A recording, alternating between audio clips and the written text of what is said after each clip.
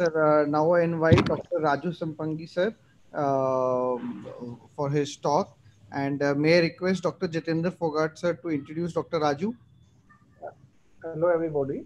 Uh, Dr. Uh, Raju Sampangi has completed his uh, MS from AIIMS and also his uh, Vitreoretina residency training from RP Center AIIMS. He is a innovator at heart and developed a new universal attachment for payment lens for retinal wide angle viewing system. Also, he has recently developed a new adapter for 3D recording. He is a renowned vitreoretina surgeon and now practicing in Bangalore. Thank you, sir.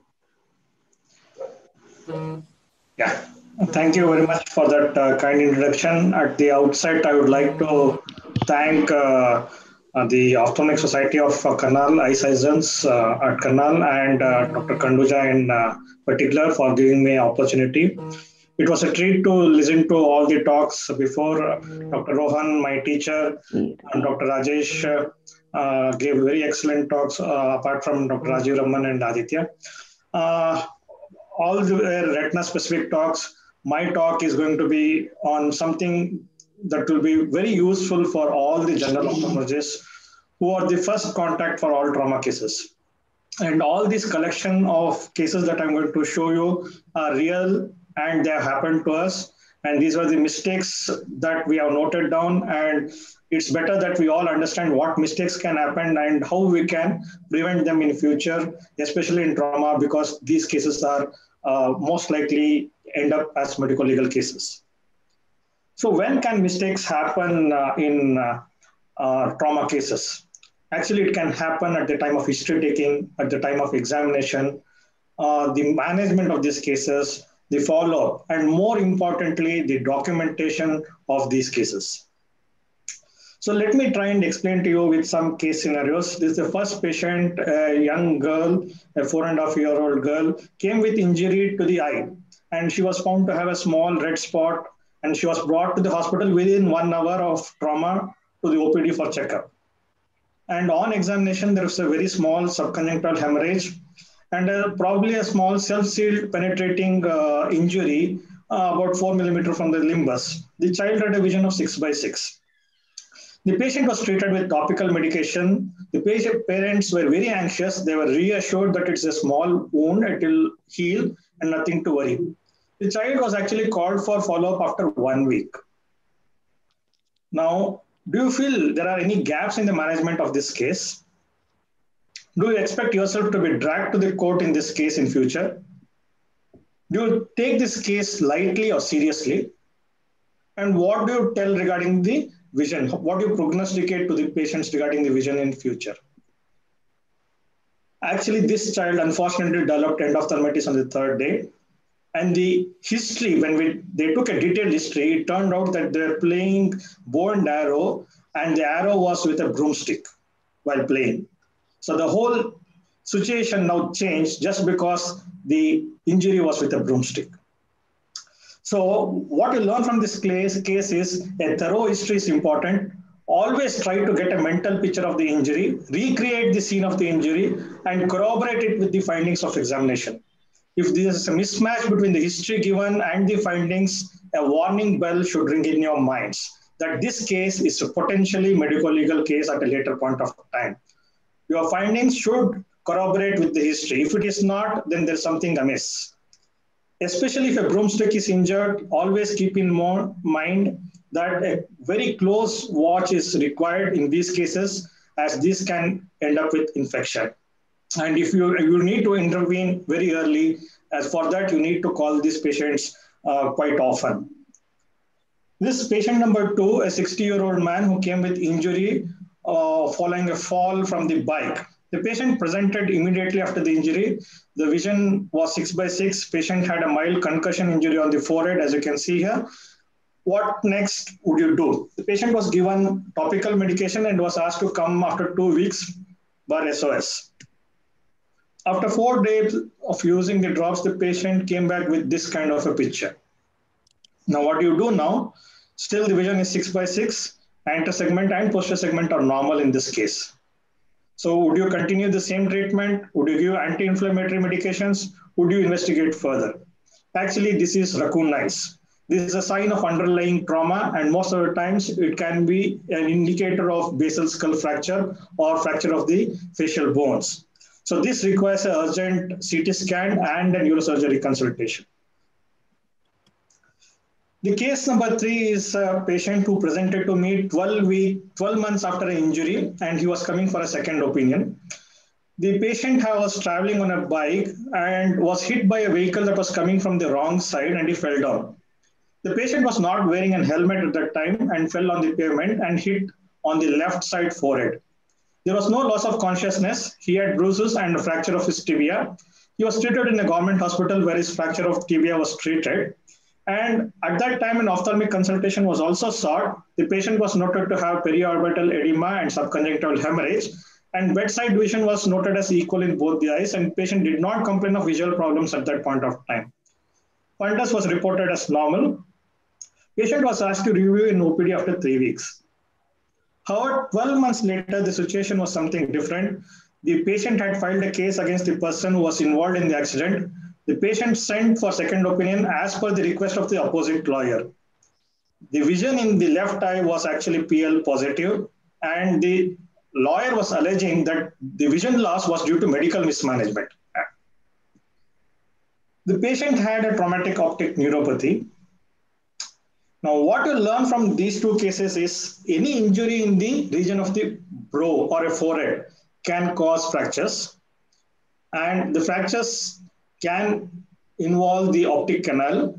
It's always important that we order a CT scan and very specifically write for cuts of the optic canal to rule out any bony fragments in the optic canal. Because if it is found, at least we can treat these patients by a surgery, uh, decompression surgery can be done in these patients. So it's very important in these patients, whenever they have a trauma in the region of the brow, that the risk of traumatic optic neuropathy should be explained to these patients. Case number four, uh, this was seen in a hospital where I'm a visiting consultant for retina. A 26-year-old male patient presented with something hitting the eye and falling off while he was standing in a workshop. He presented within two hours. Patient was seen at 6.30 p.m. in the OPD. It was the closing time. At that time, again, the vision was 6 by 6. Patient had a subconjunctival hemorrhage nasally. The antechamber was clear. The patient was actually given topical antibiotics and cycloplegics and was asked to come the next day for a fundus examination. Now, what this patient did was because his vision was normal and he was comfortable, he did not come back for the eye examination. One month later, however, he came back with uh, finding like uh, the, with a complaint that his vision had dropped in his uh, injured eye. And when we saw him, he had an inferior retinal detachment and a suspected intraocular foreign body.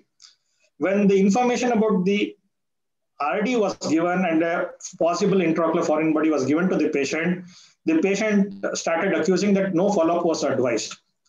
Luckily, however, we had clearly documented in his file that a dilated fundus examination has to be done the next day. And this documentation helped us to make the patient realize that it was his mistake of not following up. So it is very important in these cases that you should uh, uh, make sure you write it in bold and stress the same to the patient that he requires a fundus examination and also get the patient to sign it. This is what the corrective uh, action that we took after uh, this patient accused us of uh, not uh, telling us or stressing the need for follow-up. So always try to get a signature of the patient or the attender along with their names and the phone numbers. This patient number five who presented uh, uh, with a history of trauma about six months back, the patient had a self-sealed corneal wound and cataract. The patient was advised cataract surgery uh, but he came to us for, to get uh, for getting operated. Now, what do you do? You jump in and uh, proceed and operate uh, on this patient for cataract surgery? Obviously, no. We'll do a B scan. We did a B scan. It was anechoic and no foreign body was seen. Now, let us see what happened during the surgery.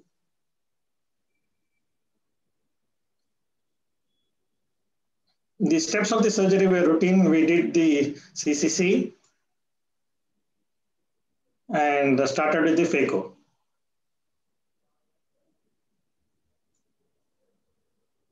When we're doing the phaco, there you could see the foreign body. It was an intralenticular foreign body. The foreign body had lodged inside the lens and uh, we removed it and the IOL was implanted. Now, actually, in this case, actually, I had seen this patient pre-op and I had done the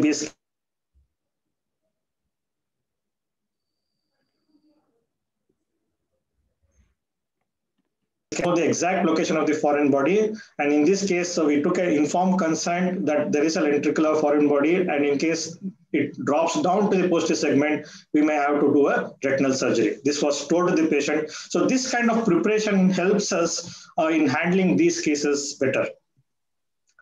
Now coming to case number six, a patient coming to us four months later and he was coming for a second opinion. And whenever patient comes for a second opinion, um, make sure that you document each and everything correctly. And this was a 16 year old boy who came with history of injury at workplace and something hitting the eye while hammering.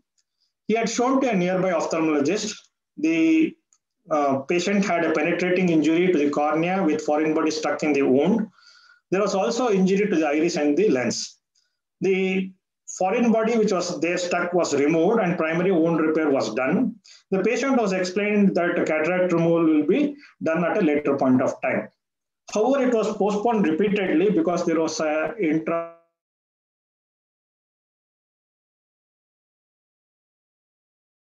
opinion four months after the incident.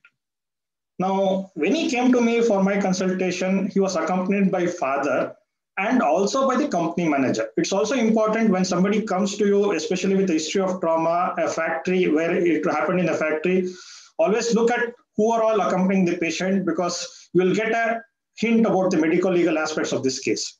Now, I was going about asking about the history of uh, the trauma, the nature of the trauma, uh, were there any surgical records? And I also casually asked him, was there any X-ray or a CT scan done?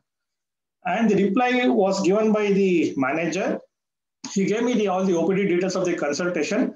And he also started in an accusing way or a combative way that other doctor never asked for an X-ray or a CT scan. So when we saw him, this picture was something like this. He had a repaired corneal wound, and you can see a partially absorbed uh, cataract. This is how bad the eye was. What next? Would you do a B scan? We did a B scan, it was normal. Now, would you go ahead and operate this case? I got a CT scan done in this patient, and there it goes. The patient had one more foreign body, it had broken down, and the other foreign body was in the uh, intraocular foreign body. Now, this patient was actually managed by an ophthalmologist whom I knew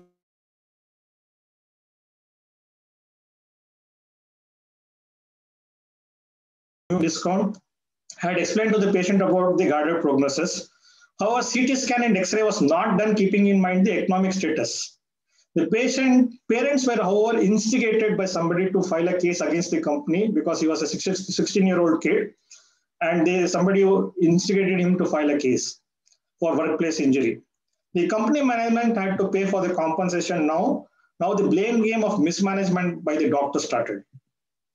Now we explained the very guarded prognosis and we also asked for an ERG just to document the case further. Now what happened in this case was after the CT scan came positive for a foreign body, a group of people from both the patient side and the company side landed up at the first doctor and created trouble and said that he had mismanaged the case. The doctor had to buy peace by giving money for further management, which was 10 times more than what he had initially taken for treating this patient. All this happened because of lack of proper documentation, no proper consent was taken, and there was incomplete investigation. So it's very important in a setting of trauma, a new suspected foreign body, make sure you document properly, have a very clear communication, have a very low threshold for ordering a CT scan and always order a CT scan with one millimeter cuts to rule out an intraocular foreign body.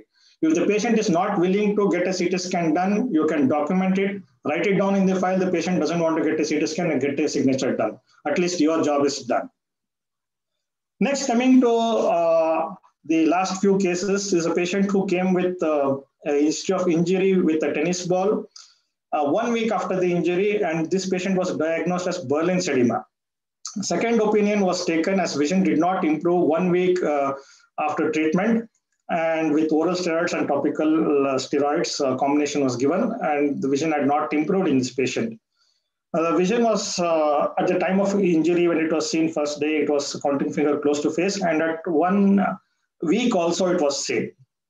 Now, when we got the OCT done, this is how the OCT looked like, and this patient had a subretinal bleed, a subphotoreceptor bleed. Now, most of these patients who have a subphotoreceptor bleed or a subretinal bleed are sometimes misdiagnosed as Berlin's edema and treated conservatively. So this is a take-home message. So whenever you suspect that there could be a Berlin's edema, always get an OCT done just to rule out a, a subretinal hemorrhage. And in this case, the patient was treated with SF6 injection, and you could see here the hemorrhage getting displaced and the patient uh, vision improved. This is, uh, this another patient who came to me at the same time. He also had a history of injury with uh, tennis ball, and this is how his uh, retina looked like. He also had a subretinal elevation, and this elevation was actually sub-RPE. It was below the RPE, and this was also a subretinal hemorrhage. In this case, we didn't treat and uh, uh, actively with a gas or uh, any other uh, intervention, we just observed this patient and over a serial follow-up, this patient improved from counting finger one meter to six by nine. So that, that's because this hemorrhage was sub-RPE. And we, this was the first uh, publication in literature, world literature, that we used a SD-OCT to differentiate the traumatic submacular hemorrhage uh, using automatic 3D segmentation analysis.